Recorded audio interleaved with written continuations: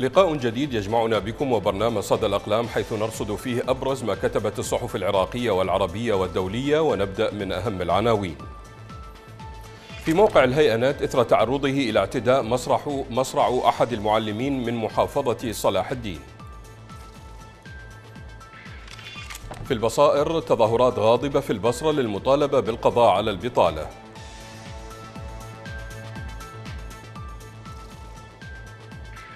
في صحيفة المدى مسلسل حرائق المحاصيل الزراعية مستمر والكشف عن الطريقة الغريبة في صحيفة الحياة واشنطن تمهل أنقرة شهرين لإلغاء صفقة أس 400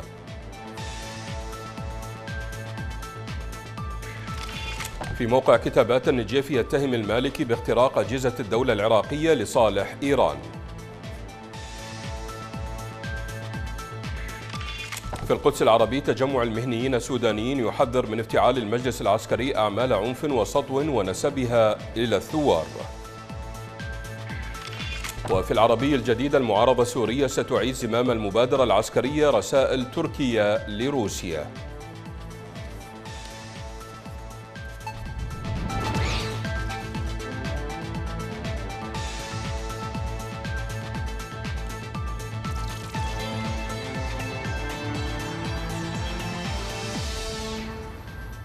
السلام عليكم. تتوالى الأحداث وتستمر الوقائع وتزداد صور المشهد السياسي العراقي لتؤكد حقيقة واضحة المعالم والدلائل أن العملية السياسية التي فرضها الاحتلال الأمريكي للعراق أدت إلى ضلوع وهيمنة كبيرة مستمرة ودائمة للنفوذ الإيراني وسيطرته على جميع مقاليد السلطة والحكم في بغداد. وأنه الموجه الحقيقي لبوصلة الأحداث والتطورات والمواقف السياسية التي يشهدها ويعيشها العراق. ويعمل على توجيه بوصلة هذه الأدوات بما يحقق هدفه وحلمه. في الوصول إلى ذروة المشروع السياسي الذي يعمل جاهدا على تنفيذه في الأقطار العربية ويتخذ من بغداد منطلقا مهما وجسرا حيويا يستند إليه في تنفيذ هذا المشروع الذي أصبح يشكل خطرا ميدانيا وسلوكا سياسيا ومنهجا واقعيا يهدد الأمن الوطني العراقي والأمن القومي العربي. جاء ذلك في مقال للكاتب أياد العناز في صحيفة البصائر العراقية.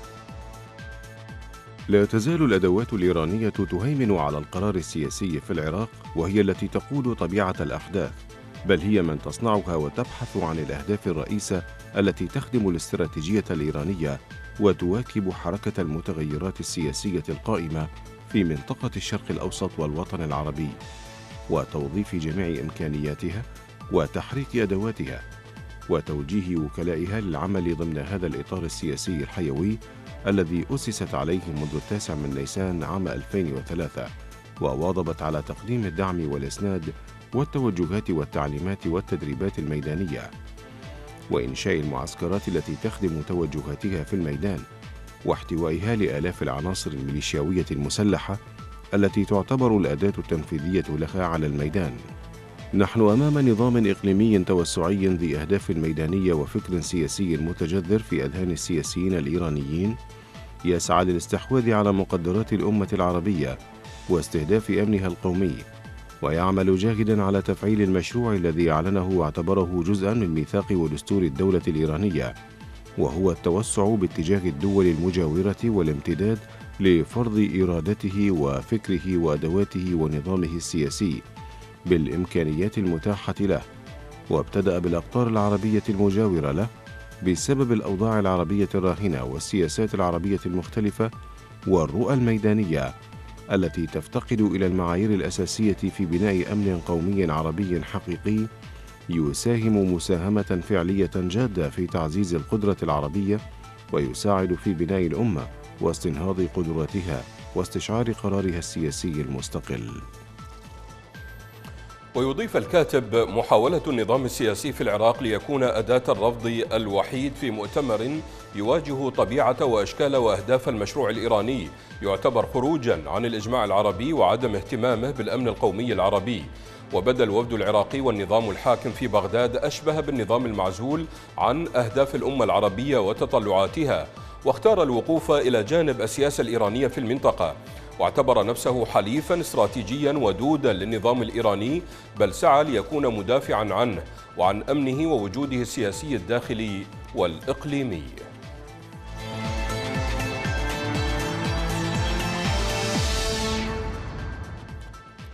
يعرفون تمام المعرفة أن العراق بمقدوره النهوض في بضع سنين لو توفرت له ظروف مؤاتية ويدركون أنه يتقدم الصفوف ويصبح صوته الأعلى بمجرد أن يسترجع عافيته. وموقنون أن العراقيين هم صناع الحضارة ومنهم انطلقت أنوار المعرفة. ولهذا لابد أن يظل هذا الوطن عليلا. هكذا تقتضي مصالح من عبروا البحار. عن الحرائق والانتهاكات في العراق كتب جليل وادي في صحيفة الزمان العراقية. من يقارع الظلام لا تخيفه حرائق الحنطة. ولا يتحسب أن يجوع يوما. لكن ما يقهره أن الفاسدين يعبثون بينما الرعاة عاجزون. فالذين تسعدهم حرائق الحقول كثيرون. منهم أولئك الذين لا يريدون لرغيف بلاد أن يكون بديلا لرغيف الجوار. فقد تأمروا من قبل على خاثر أبو غريب على بساطة إنتاجه. فكيف يكون الحال مع الطحين تقصوا عن الروايات إن كنتم لا تصدقون. هم أنفسهم الذين لا يشترون محولات الديالة الكهربائية بينما يستوردون الرديء بيدهم القرار ولا أحد بمقدوره تسميتهم. قد يطالبونك بالدليل وكل الأدلة في خزائن مؤصدة. ومنهم من لا زال في قلبه حنين للكهوف ففيها صار أميرا بينما كان منبوذا. وبعد أن كان متسلطا صار مطاردا. مثل هؤلاء لن تتطهر عقولهم أبدا. ففيها من غريب الأفكار ما يتعذر معها إعادتهم للمسار ونحن مسؤولون عن ذلك. فقد شغلتنا لعبة السياسة عنهم فاحتضنهم الأشعث ناثرا في أدمغتهم بذار التطرف وقلنا مرارا إن تحرير العقول بقدر أهمية تحرير الأرض فحررنا الأرض وأهملنا العقول وننتظر من بيده الأمر أن يرسم برنامجا بذات المستوى لتأهيل الأطفال والشباب من سرطان التطرف. الحرب لم تنتهي بصمت البنادق ففي الكراهية نيران أشد إيلاما من الرصاص وليس من درب أسهل للانتقام من حرق الحقول أين نواطيرها؟ كان الآباء يتوسدون البيادر ويلتحفون العراء ويا ويل لمن يقترب واليوم نتفرج على حرائقها ولا نملك سوى الثرثرة في الفضائيات وإلقاء اللوم على الحكومة والمطالبة بالتعويض. وهل يستحق تعويضا؟ من لا ينطر بيادره؟ دعوا الشمس وحالها يا إخوان فهي بريئة من جرائمنا.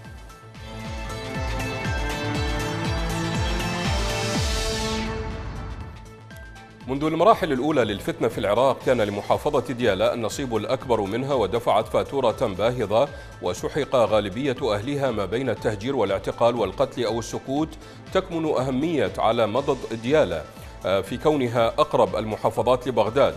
وأنها من المدن المحاذية لإيران ولهذا عانت الكثير وتاريخها القريب كتب بدماء الأبرياء وقد نفذت الميليشيات المتنوعة جرائم شتى سجلت بمداد الذل والعار في صفحاتها وبمداد العز في آه، أهل ديالى.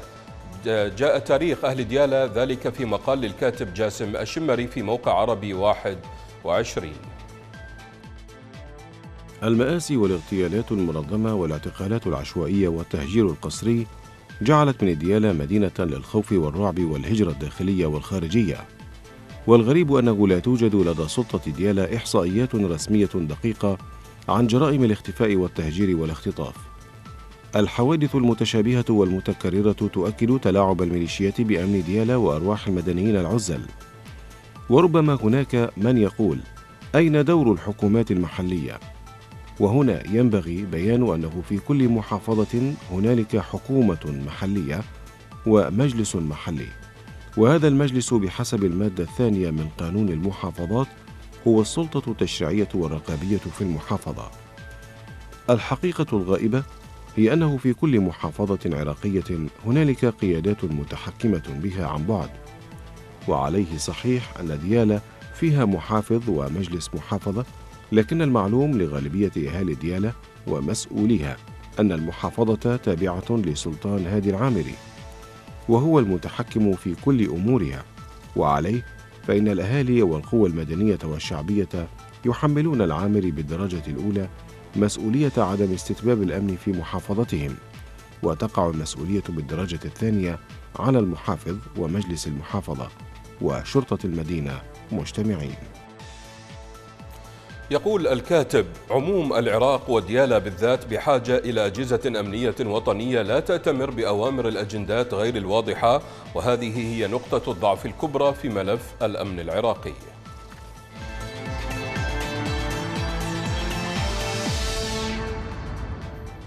نشرت وسائل إعلام عراقية صورا لمزرعة محترقة في مدينة الموصل في محافظة نينوى وشرحت الصور الطريقة الخبيثة التي استعملها الفاعلون لإشعال الحريق.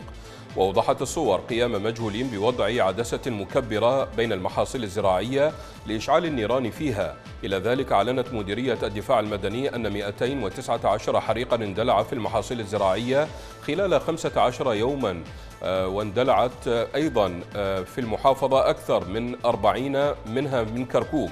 وطالت معظمها محاصيل المزارعين والتهمت النيران محاصيل القمح والشعير في المكان.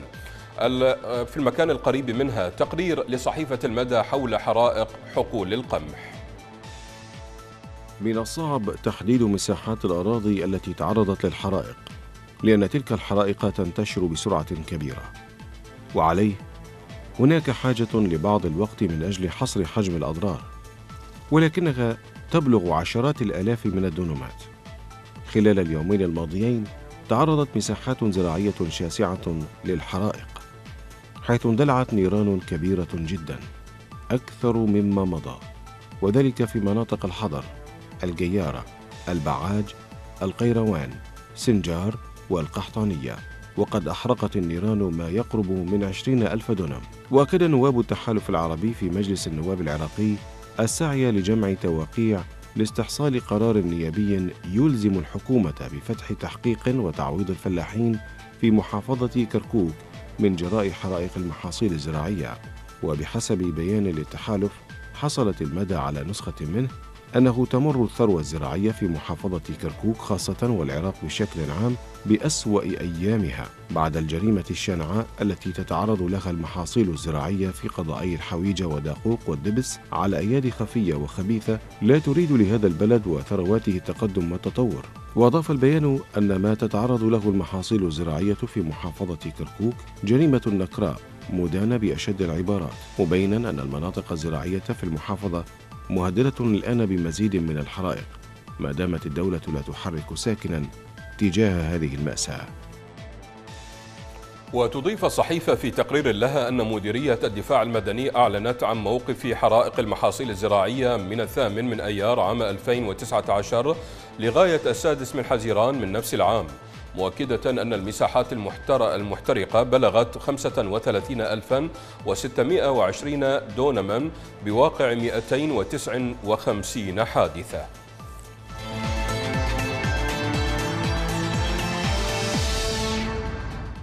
كل من ناصر الثورة السورية منذ بدايتها يعرف عبد الباسط الساروت له معه حكايات عبر المقاطع المصورة التي كانت تخرج من المناطق الثائرة والأناشيد التي كان يطلقها لتحفيز المتظاهرين السلميين لا سيما في حمص. راقبه من بعيد وهو يتنقل بين أحياء باب عمرو المحاصرة لكنه كان يشعر دائما بأنه قريب وبأنه صوت يعبر عن الحلم الذي راود كثيرين ليس سوريين فحسب. بل كل من تغنى بالحرية والديمقراطية وزوال الاستبداد. مقال للكاتب حسام كنفاني في صحيفة العربي الجديد. يحسب للساروت أنه لم يدخل مثل كثيرين غيره من الناشطين السياسيين والثوريين في بازارات الدول والمنصات والائتلافات والتحالفات التي شرذمت الثورة السورية أكثر مما خدمتها. وأدخلتها في متاهات إقليمية ودولية. حتى خروجه من سوريا كان قليلا ربما مرة أو مرتين. زار خلالهما إسطنبول ليعود بعد ذلك إلى بلده. كان مقتنعا أن عمله على الأرض في سوريا وليس في أي مكان لجوء آخر على الرغم من الفرص التي أتيحت له بحسب ما يخبر أصدقاء كثيرون له. آمن بالدور الذي عليه لعبه ثم تغرر به النجومية التي كسبها في بداية الثورة وحوله إلى أيقونة يمكن أن يحتذي بها الناشطون. كان الساروت يمثل واحدة من اللحظات المحورية في الثورة السورية والتي اختصرت في الشعار الشهير ما إلنا غيرك يا الله في مواجهة التجاهل الدولي العام للمحرقة السورية وانضمام فاعلين دوليين وإقليميين لمد يد العون لنظام بشار الأسد. في قتل شعبه على مرأى العالم ومسمعه. لهذا والارتباط سيرة الرجل ومساره بثورة آمن كثيرون ولا يزالون بعدالتها جاء وقع مقتله قاسيا ومؤلما. كل من ناصر الثورة السورية من بدايتها شعر أنه فقد عزيزا أو شخصا يعرفه حق المعرفة. أو هكذا تخيل وهو يرى أن مساحة الحلم ضاقت. وخسرت واحدا من رموزها أو ربما أسقط في لا, في لا وعيه. نهاية الساروت على الثورة نفسها. هو حزن مضاعف أبعد من الساروت نفسه. حزن لا بد أن تواجهه قناعة أنه ما زال للحلم بقية وأن النهايات الحقيقية لم تكتب بعد.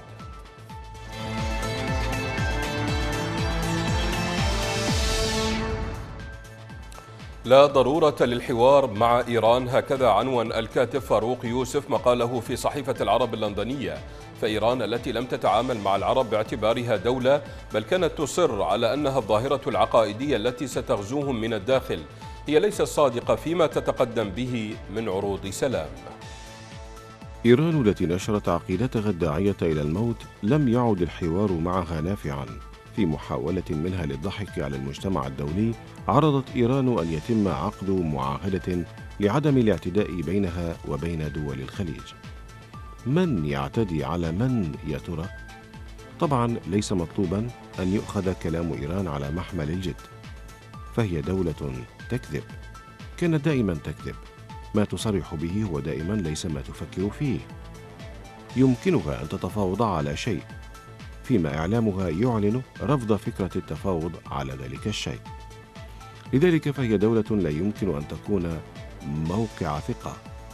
لا أحد يثق بإيران سوى أتباعها الذين ليسوا مغفلين كما يتوهم البعض. أولئك الأتباع يفهمون لغة إيران المخاتلة ويدركون حيلها وهي تسعى إلى الالتفاف على الحقيقة. ذلك ما يعجبهم فيها. وهو ما يجعلهم مشدودين إلى عصا الساحر المقيم في طهران. هم محتالون صغار يمارسون أدوارهم في سياق عملية تخريب شاملة يرعاها النظام الإيراني من أجل أن تتسع مزرعة الفساد. فلا يبقى هناك مجال للتفكير بوعي وطني أو ضمير نزيه أو عدالة اجتماعية. ليس العرب مستعدين لسماع المزيد من الهراء الإيراني. إنهم لا يملكون الوقت الذي تراهن عليه إيران وهي التي انقطعت منذ عقود عن متابعة الزمن. يضيف الكاتب لا أحد يثق بإيران سوى أتباعها الذين ليسوا مغفلين كما يتوهم البعض. أولئك الأتباع يفهمون لغة إيران المخاتلة ويدركون حيلها وهي تسعى إلى الالتفاف على الحقيقة. لقد تمكنت إيران من التغلغل في العراق بعد أن تم غزوه من قبل القوات الأمريكية وبعد أن تخلى العرب عن سوريا ففتحت أبوابها أمام الإيرانيين. وكان واضحا أن العرب حين تأخروا عن معالجة الأزمة اليمنية وجد الإيرانيون لهم مركبا سهلا من خلال الحوثي. أما في لبنان فإن التمويل العربي لحزب الله التابع لإيران كان استفادت إيران من مصدر قوته من الأخطاء العربية وهي اليوم تسعى إلى تطبيع أوضاعها وذلك من خلال معاهدة عدم اعتداء إنها تتصرف بدهاء مكشوف ذلك لأنها إن تمكنت من جر العرب إلى حوار في ظل الأوضاع القائمة فإنها ستحصل منهم على اعتراف باستعمارها لأربع دول عربية.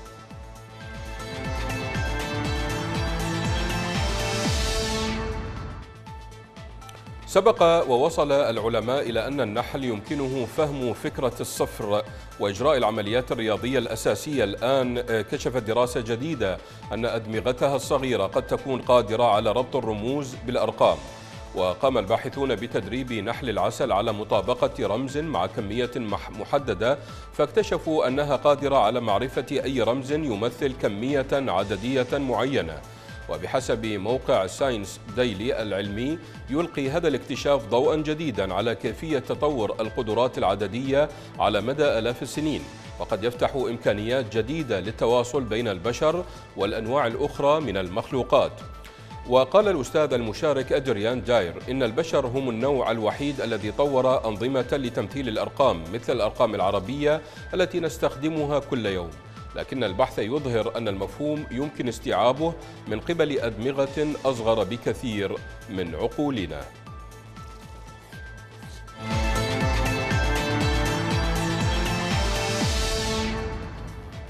الرسوم الكاريكاتورية لها أسلوبها الخاص في وصف الأحداث حول العالم.